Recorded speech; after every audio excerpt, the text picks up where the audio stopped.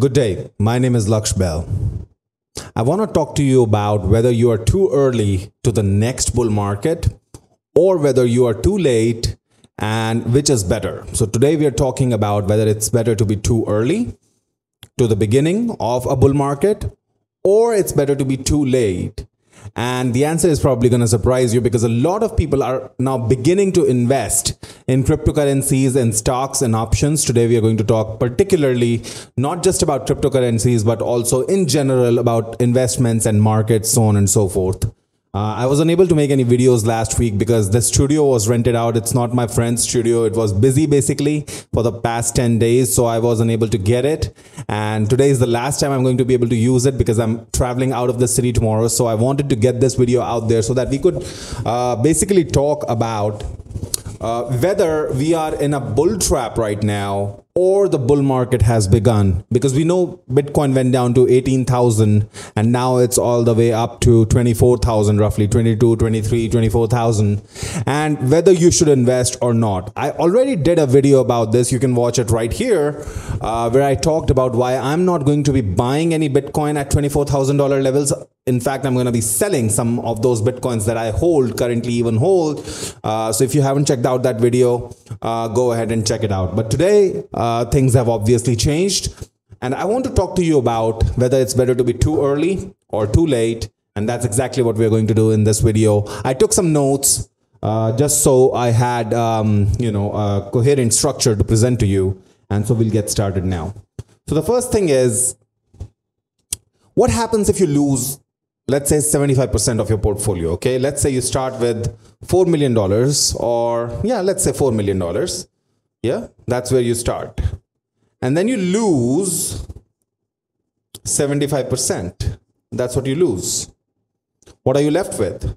Well now the portfolio is $1 million because you've lost 75% of your portfolio so you've lost $3 million and so the portfolio is just $1 million now. How much money do you have to make in order to get back to $4 million? Or what kind of returns do you need to in, uh, in order to get back to your $4 million? This is something that you really need to understand that the fundamental job of every investor is basically risk management. Here's why. To go back from 3 million to 4 mil, uh, 1 million to 4 million, you need a 300% gain in portfolio. In other words, in order to cover a uh, 75% downturn, you need to get a 300% gain on your entire portfolio. And that's just close to impossible, but it's very easy to lose 75%. This is why risk management is the fundamental thing you should be worried about. If Bitcoin goes to $35,000, that's okay. You know, it just went up 33% or, you know, even less than that, 30%. If Bitcoin goes down to $10,000 from this level, you've lost almost 60% of your portfolio. This is what you need to understand. If you are investing now, there is a potential for the markets to, there's always a potential, there's always a risk. But right now, there is a potential for the markets to go down way below where they are right now, way below the previous dip, which was $18,000. So you need to understand if you lose half your portfolio, okay? If you lose half your portfolio, well, guess what? You need to make back 100% gains in order to get back where you were, where you started off. So if you lose half your portfolio now, 60% of your portfolio, if you lose 60% of your portfolio, how much do you need to make? You need to make 150% gains in order to just break even.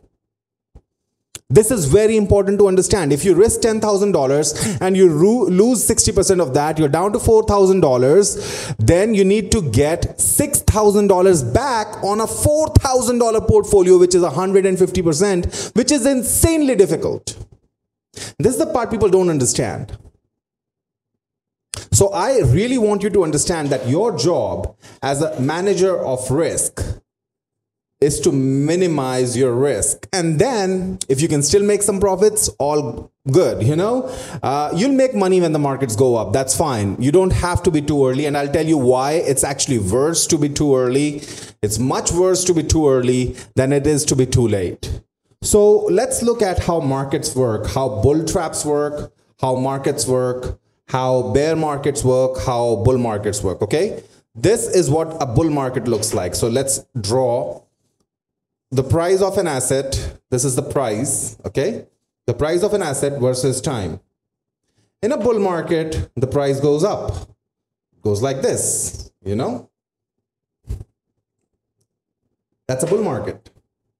Most people are trying to time the bottom of the bull market. This is the exact strategy that you do not want, and I'll tell you why. What you need to know is where you are in the bull market and how confident you are about whether or not there's a bull market. When you're around here, well, you're reasonably confident that you're in a bull market, okay? But so far, the candles have been really small. In a bull market, the larger candles come towards the end. These mega candles, the ones that you really want to ride all the way up, they come towards the end. So what you're looking for is an entry somewhere along the way. Here, here, here, somewhere over here. You want an entry when you have confidence that you are in a bull market, you are indeed in a bull market, and all the signs point to this being or that being a bull market. If you are taking a chance that market can go down, it can be very risky for you for the reasons we've just discussed. You can lose a lot of your portfolio. You want to be sure that you are in a bull market even if you miss out on the first half of the bull market. So let's say a bull market continues from let's say 2023 all the way to 2025. That's 3 years, right? Well, I don't want to get in at the beginning of the bull market, and I'll tell you why. You have to understand the risk part of this. I don't want to get in at the beginning of the bull market. I want to get in when I'm relatively confident that the bull market is here and the prices are still low. You know, if Bitcoin is going to go from, let's say, 20K to 200K in the next bull market, right? 20K to 200K. I don't care whether I enter at 20K or at 30K or at 10K. Those numbers are much smaller than the big wicks that you're going to see from 30K, 40K, all the way to $200,000. And so that's what you want to capitalize on. The big wicks. Those are the important ones. And like every exponential thing, like everything that follows a hockey chart pattern, the bigger wicks come towards the end. That's the important thing to understand. The bigger wicks, the big, huge, juicy, lucrative wicks, those candles that you really want to ride all the way up, those come towards the end. If this is a bull market, even if this is the beginning of a bull market, in the beginning, like everything exponential, you're not going to see a whole lot of price action in the next few months, even if the bull market has already begun and there's no way to be confident about it right now. And I'll talk about the factors why. However, so if you are too early, it's not important. As you can see, it's not important to be too early, right? You can be a little bit late to the market. You know, imagine having bought Bitcoin at $7,000, $8,000 instead of the $3,000, which was the all time low for the previous bear market, right? The 2017 2018 crash, 2018 crash for Bitcoin. You probably weren't able to get in uh, at $3,000, but even if you got in at $4,000, $5,000, $6,000, you wouldn't really be complaining when you rode it all the way to $65,000, $69,000, right? So the bull markets are very forgiving, is what I'm saying. You may not be able to 10x your money, you can still 5x your money in a bull market. And the amount of time required is really small. Towards the end of the bull market is when really juicy stuff happens. I can sit on my US dollars, on my USDC, TUSD, True USD, Trust Token USD, or uh, Binance USD, or Pax USD for the next two years without incurring a lot of risk. And I can just sit on it and still be able to ride the bull market because we are just going to be somewhere around here.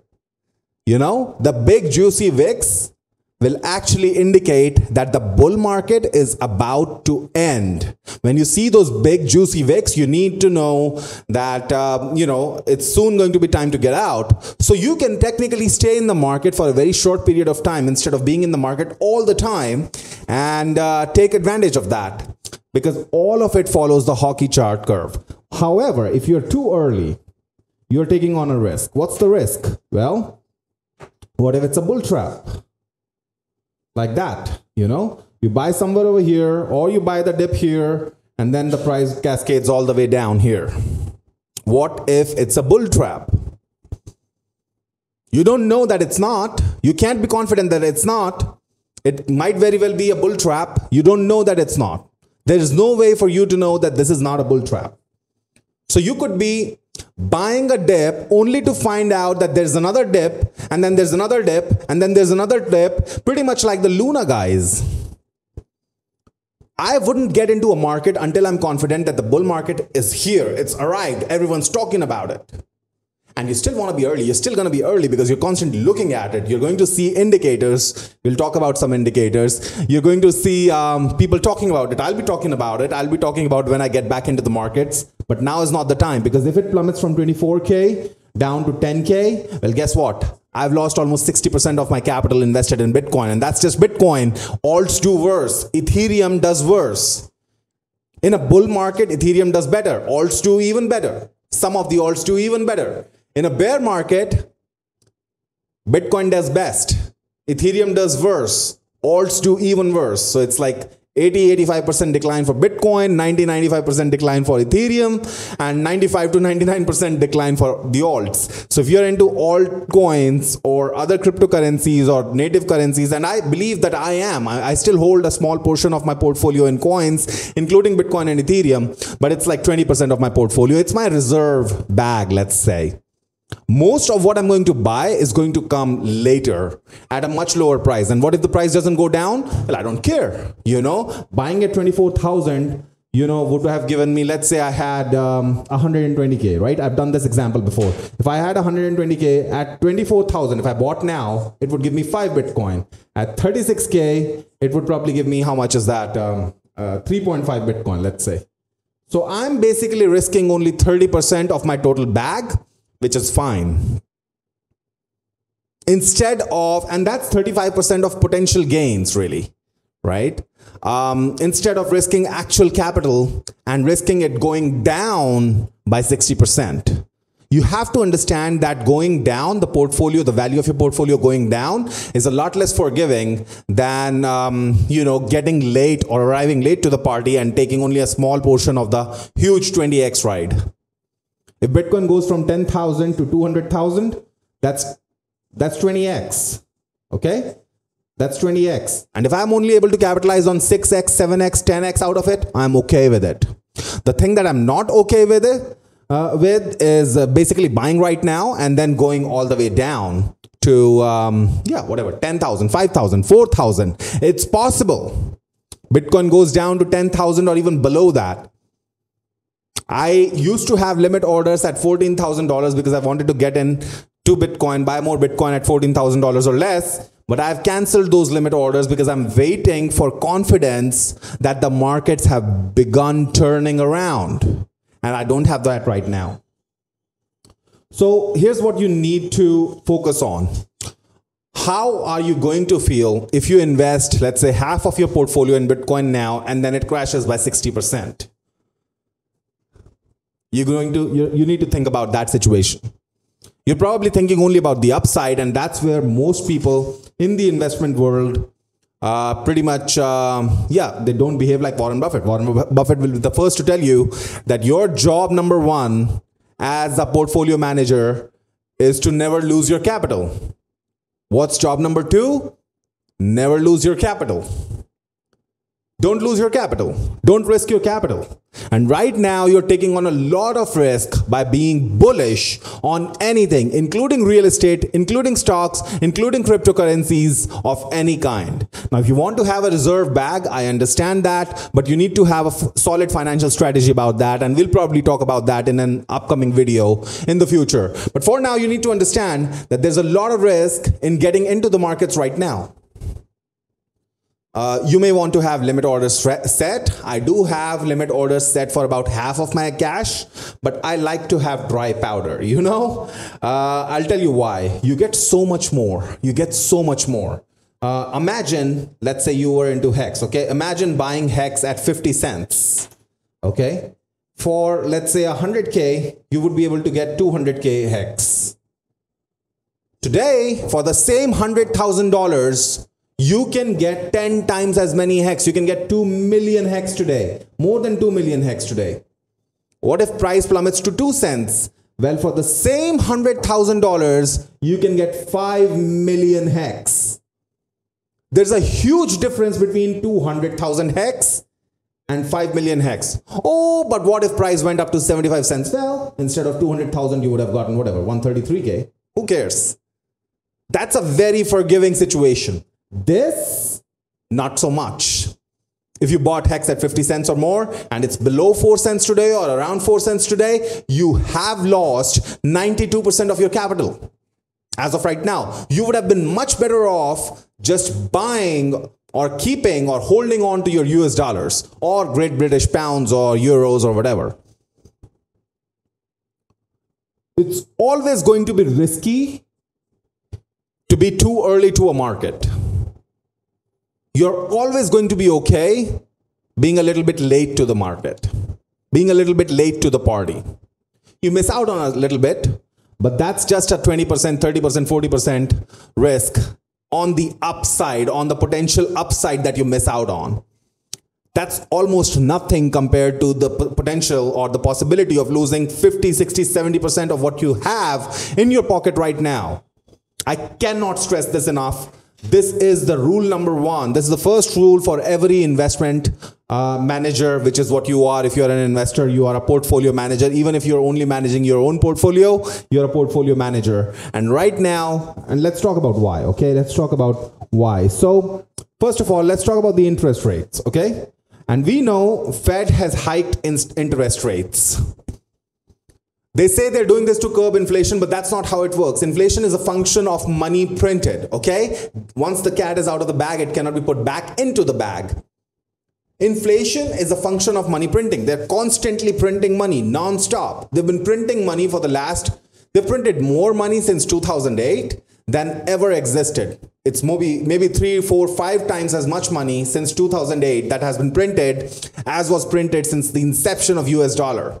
And rest of the world does worse. You can look at the exchange rates and you can see how that's going for everyone. Euro has literally crashed against the dollar. It used to trade at a 15% premium over the dollar. Now it's trading at almost 1 to 1 it dipped to under 1 to 1 so it deep it got depegged basically by or it got toppled by uh, uh, by the US dollar so no matter what currency you are in, the currencies are faring really badly here. All currencies are faring really poorly right now. But US dollar is doing best of all compared to all the other garbage currencies there are, which US dollar is one of the garbage currencies, but it's the best performing garbage currency of the year. Um, so Interest rate does not control inflation. Interest rate controls how easily accessible that cash is to people uh, who want to take out a mortgage, who want to take out a loan. Because guess what happens when you take out a mortgage to buy a house? Well, you spend that money. Someone else gets that money. And, you know, some of that money is spent on brokerages or on... Um, uh, on, on maintenance, on insurances, on paperwork. Some of that is transferred over to someone else who might invest in a different real estate or in a different class of assets, so on and so forth. And it makes the money move. And so what happens when you increase the interest rate is people don't have a lot of surplus money to invest in risky assets such as cryptocurrencies. Cryptocurrencies are very, very risky. This is a class of asset where 80, 90, 95, 99% dips are not just unu- not unusual, but also expected. People expect those dips. You expected those dips. If you're smart enough, you took advantage of those dips, or you're going to take advantage of those dips. You're trying to be, um, you know, someone who times this market well, hopefully. Um, but you don't want to try to time the market. You want to uh, trade, or you want to get in and out based on confidence uh, about whether or not a bull market or a bearish trend has begun or not. Anyway, so as they increase the inflation rate, the amount of liquidity in the in the economy in circulation is going to go down. And Fed has doubled down on that. They even said as much. We don't care too much about that. All we care about is keeping our power.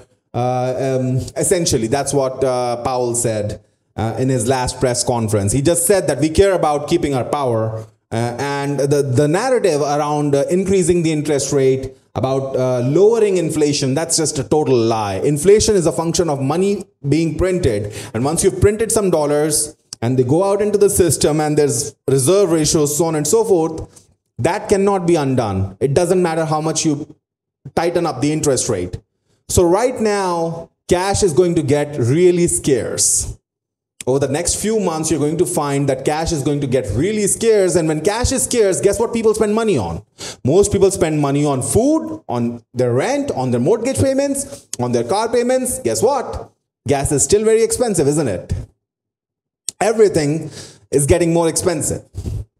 I don't pay a lot of attention to that, but I do on a macro scale uh, because everything is getting expensive while cash is getting tighter. Businesses will be forced to let go of some employees. What happens to those people? Well, they're living on welfare if they can, or social security if they can, unemployment maybe. Um, they don't have that much money to spend. So, what do they spend it on? Bitcoin? No. Hex? No. Elrond Gold? No. Ethereum? No. They're going to spend it on gas, on milk, on food, on meat, on fruit, on produce. That's what they need in order to survive. And there's barely enough money for them to be able to survive. How are they going to invest? That's the, that's the vast majority of your economy. And the same effect happens with companies as well. Companies with huge billion dollar portfolios as well, because cash is cash. If it's tight, it's tight, even if they're very profitable, even if they're highly profitable. It doesn't matter. So that's the first factor that leads me to believe that the market is nowhere close to arriving just yet. I could be wrong, but like I said, if you're already in a bull market and a little bit late to the party, that is a very forgiving mistake that you can make. This brings me to the next point, which is tech stocks. Cryptocurrencies, as we know, are now highly correlated to tech stocks. When the tech stocks do well, cryptocurrencies do well. When tech stocks go down, cryptocurrencies go down. Okay, so I want you to look at the share prices for Wish. Wish was trading at $32 at its all time high last year, and now it's down to $2, less than $2. Robinhood is down 87%. 87%. Stitch Fix 90% down from its all time high. Peloton, 83% down. Affirm is down 81%. This is regardless of the fact that you are looking at Peloton odds, ads, you're seeing Peloton ads everywhere you go. I mean, I've not been able to escape those Peloton ads everywhere I go. Best Buy, subway stations, everywhere. Same thing for Affirm. You go to any website, you're going to find an option to use Affirm as a payment method. Opendoor is down 78% and uh, it actually went down 23% in a single day. We're talking about a tech stock here. We're not talking about a cryptocurrency. This, these things happen in cryptocurrencies, but this is very rare in the stock market. And you're telling me this is not a recession just because White House said, oh, don't worry about this being uh, six months in a row of GDP shrinking. We don't think it's a recession. Let's redefine what a recession is. Well, um, you can redefine whatever you want. You can redefine uh, someone born with uh, a different set of body parts as being someone else, but that doesn't change much, does it? Uh, Roku is down 77%, VIX is down 77%, Redfin is down 76%, Toast is down 75%. I mean, you're telling me this is not a bull market, this is, this is a bull market? Does this look like a bull market to you? Everything is down, even tech stocks are down, and real estate bubble has only just begun popping right now. When it does, it's going to pop hard. And you know what? I would rather have dry powder when things go down, crash to the ground, burn to the ground, and assets are, are available to buy for pennies on the dollar. You know, in the last bull market, a friend of mine was able to buy an apartment for uh, uh an entire apartment, a very nice condominium for $15,000. $15,000. This normally goes for 150 to $200,000, or it used to before uh, the 2008 recession. And he was able to buy it for $15,000. And that thing would have probably sold for 400,000 last year, or even until, um, you know, um, the beginning of 2022 because of how the markets were. And I want to be in that prime situation where I have the dry powder to be able to buy what I want to buy when the markets crash and burn to the ground. Because that's how wealth is made. That's how you make enormous wealth that basically goes on with you for the rest of your life. That's what you want. Then look at the leaders. Look at what leaders are doing. Zuckerberg has sold Musk has sold, Bezos has sold, Satya Nadella of Microsoft, he sold $285 million worth of Microsoft stock. Does it sound like the CEO of Microsoft believes that his stock is going to go up? These guys know something you know, sure, they're going to buy back at a later date and they're going to take pocket $500 million, $200 million, a billion dollars, $50 million in the process. You know, there's a whole list of CEOs who have dumped their own company's stocks and they're probably going to buy it back. Except in the process, they made very nice cars, they bought very nice uh, planes and boats and yachts and stuff like that, you know, made investments in other stuff such as cryptocurrencies or are waiting with their dry powder to make investments in cryptocurrencies and stuff. So when the richest people in the world are dumping stocks, you think it's time to buy them? And if Bitcoin and other cryptocurrencies are correlated to tech stocks, while the CEOs of tech stocks have been dumping the entire year, you think this is a bull market? You think this, this is an indication for the beginning of a bull market? You're going to learn a harsh lesson. Probably. I don't know. I don't have a crystal ball. But you might just end up learning a harsh lesson here. So it's important for you to protect yourself. And we have to talk about the bullwhip effect. What happens is, I just read an article which said that if you buy something from Walmart or Target, which is not very expensive, let's say some electronics worth 100 bucks or so, 50 bucks or so, and you want to return them, they might just say, you know what? Destroy it, donate it, trash it, do whatever you want with it. We'll give you a refund, just don't bring it back. Do you know why that is? That's because they have too much inventory. Last year, we had a problem that there was not enough inventory. Now they have too much inventory, at least for certain goods because they overestimated the demand. Because there was a lot of demand, so they ordered too much, except now there's not a lot of cash because of the rising interest rates. So, the rising interest rates means that there is not a lot of liquidity in terms of cash flows uh, in, in the economy, and people are buying less and less stuff. And so now they have too much inventory on their hands, and guess what they're going to do?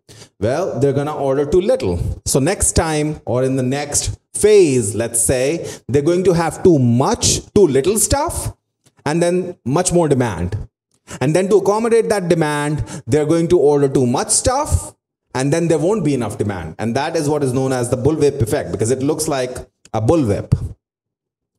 They have too much inventory, but there's no demand. They have too little inventory, so they can't meet the demand. And that goes on and on and on and on and on. It's very typical of recessions uh, to have this bullwhip effect. I can actually link to a video right here. I don't know if my channel is uh, eligible for that or not. If, if not, you can find it in the description below. Uh, that talks specifically about bullwhip effect and you know who's talking about that? Michael Burry. Or who's banking on that? It would, that would be Michael Burry. The same guy who called the real estate crash made hundreds of millions of dollars for himself and his investors in the previous market, in the previous recession, 2008. Uh, they even made a movie about him, The Big Short. Okay, so here are some people you want to follow. I'll link to that video about Burry, of course. You can watch that video. Uh, and that specifically is about the bullwhip effect. And you want to understand the bullwhip effect uh, in detail uh, because that is what is going to happen in the next few months or what is likely to happen in the next few months. Then there is a channel called Maverick of Wall streets and a particular video uh, has him discussing the CEOs of the tech markets dumping their own stock and I want you to watch that video carefully. It's a long video. He does long presentations. So if you're not following his channel, you really should. And CTO Larsson, he also did a video recently where he talked about he doesn't have confidence that the bull market has arrived, which is basically the conclusion that I had as well. So at the end of the day, I want you to understand that if you wait if you just hold on to the dry powder, you can potentially buy more, a lot more, for a lot less. If the recession is as bad as some of us think it might be, you're probably going to be able to buy a lot more for a lot less money. Or for the capital that you have, the dry powder that you have right now is going to be able to get you so much that you're going to be riding all the way to the sunset, into the sunset in the next bull market, of course. Right now, it's time to be patient. At the end of the day, all I have to tell you once again to iterate if you're buying now, you're potentially only gaining a little bit here compared to someone who enters here, right? You're potentially gaining a little bit compared to someone who enters here. But you're risking a lot. So you might gain 33%, 40% for a potential 70, 80, 60% loss. And that is just bad risk management. That is just bad asset management. Again, as an investor, your fundamental job is not to get married to your bags, not to get so invested, so heavily invested, so primarily, so deeply, passionately in love with these projects that you love that you forget all about the fundamentals of investing. That's what a lot of people are doing. You don't want to make the same mistake. People are making that mistake, let them. You can't stop everyone. But you got to be sure that if you're spending your capital to buy assets, to acquire assets, you're doing it when you have the confidence that you're solidly, squarely in a bull market, even if that means you miss out on the beginning 30, 40% of the gains which is fine. We're talking about 10x, 20x, 50x, 100x, 1000x in some cases. Some people think Pulse Chain is going to do, and I'm not one of those people, but if it does, you know, I'm going to be taking those profits myself. Uh, Pulse Chain is going to do a 1000x. We'll talk about that in the future when that happens. But if it's going to do a 1000x, who cares about the 40% here that you're probably going to make by investing now? Okay, you can wait it out for another 12 months, maybe 6 to 12 months. And still, even if we are in a bull market, even if you think this is a bull market, the worst case scenario is that you miss out on the 30 to 40% that this bull market is going to show through a consolidation phase, right? It's going to go through a consolidation phase. So you're just going to miss out on the 30 to 40% that this consolidation phase might get you. And that's only if this is a bull market. If it's a bear market, if it's a bull trap, you're basically screwed.